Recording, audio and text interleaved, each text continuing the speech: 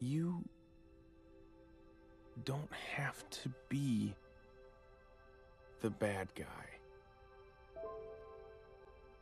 You are the most talented, most interesting, and most extraordinary person in the universe.